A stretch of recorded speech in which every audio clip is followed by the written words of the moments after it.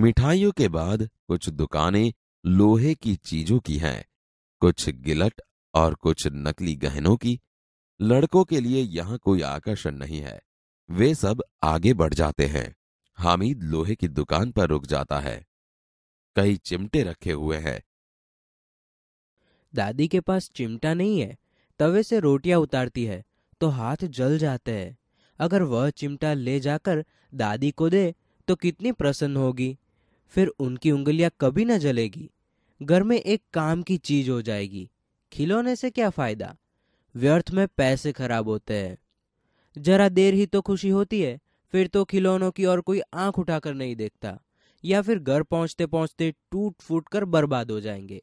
चिमटा कितने काम की चीज़ है। रोटियाँ तवे से उतार लो, चूल्हे में सेक लो, कोई आग मांगने आए तो चटपट चूल्हे से आग निकाल कर उसे दे दो। अम्मा बेचारी को कहाँ फुर्सत है कि बाज़ार जाए और इतने पैसे ही कहाँ मिलते रोज हाथ जला लेती है। हामिद के साथ ही आगे बढ़ गए हैं।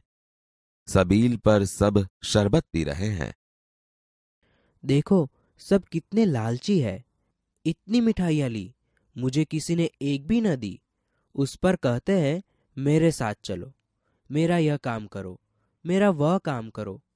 अब अगर किसी ने कोई काम करने को कहा तो पूछूँगा, खाए मिठाइया, आपका मुँह सड़ेगा, फोड़े फुसिया निकलेगी, आप ही जबान चटोरी हो जाएगी।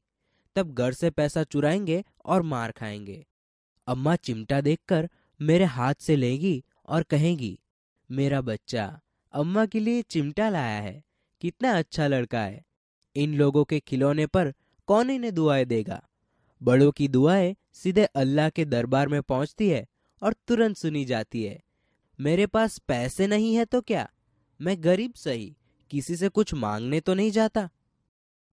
यह चिमटा कितने का है? छ पैसे लगेंगे। हामिद का दिल बैठ गया। ठीक ठीक बताओ। ठीक ठीक पाँच पैसे लगेंगे। लेना है तो लो नहीं तो चलते बनो। तीन पैसे लोगे? हामिद आगे बढ़ गया ताकि दुकानदार की घुड़कियाँ न सुने।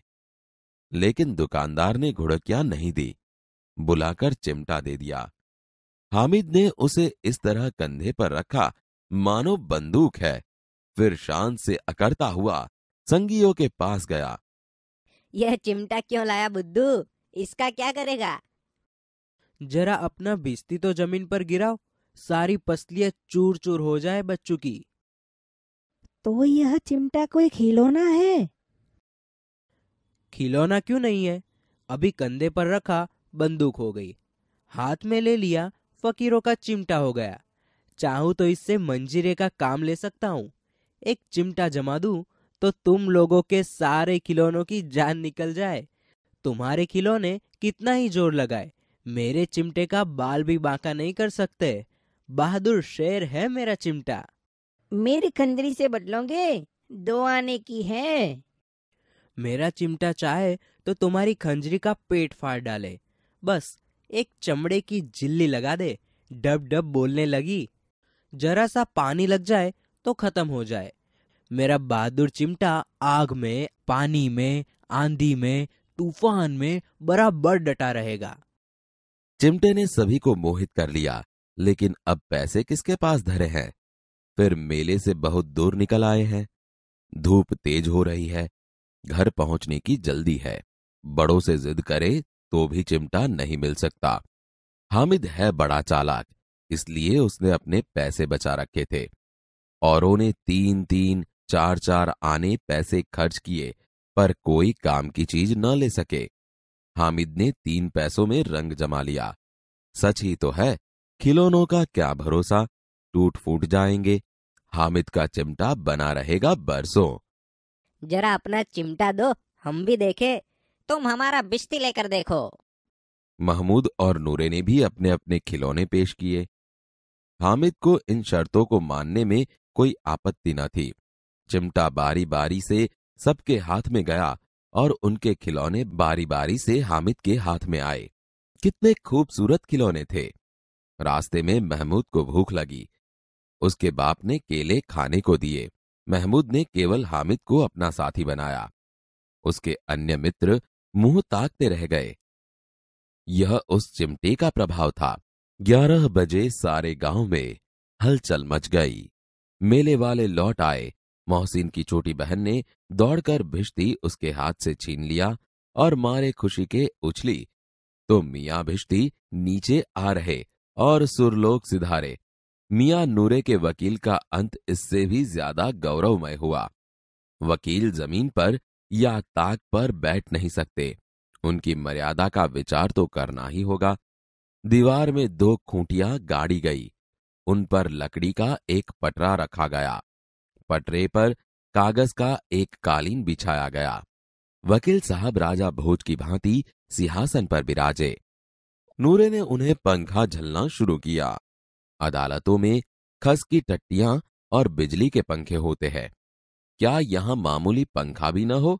बाँस का पंखा आया और नूरे हवा करने लगा। मालूम नहीं पंखे की हवा से या पंखे की चोट से वकील साहब स्वर्ग लोक से मृत्यु लोक में आ रहे और उनका माटी का चोला माटी में मिल गया। फिर बड़े ज़ोर शोर से मातम हुआ और वकील साहब की अस्थियाँ धूरे पर डाल दी गई। अब मियाँ हामिद का हाल सुनिए। अमीना उसकी आवाज़ सुनते ही दौड़ी और उसको गोद में उठाकर प्यार करने लगी। सहसा उसके हाथ में चिमटा देखकर वह चौंकी। यह चिमटा कहाँ से लाया? मैंने मोल लिया है। कई पैसे में? तीन पैसे दिए। यह कैसा बेसमझ लड़का है कि दोपहर हुआ कुछ खाया न पिया। लाया क्या चिमटा? सारे मेले में तुझे और कोई चीज़ न मिली जो यह लोहे का चिमटा उठा लाया? तुम्हारी उंगलियाँ तवे से जल जाती थी इसीलिए मैंने लिया। बुढ़िया का क्रोध तुरंत स्नेह में बदल गया। बच्चे में कितना त्याग कितना सद्भाव और कितना विवेक है। दूसरों को खिलौने लेते और मिठाई खाते देखकर इसका मन कितना ललचाया होगा। इतना जब्त इससे हुआ कैसे? अमीना का मन गदगद हो गया। वह रोने लगी दामन फैलाकर हामिद को दुआएँ देती जाती थी और उसकी आँखों से आँसू की बड़ी बड़ी बूंदें गिर जाती थीं।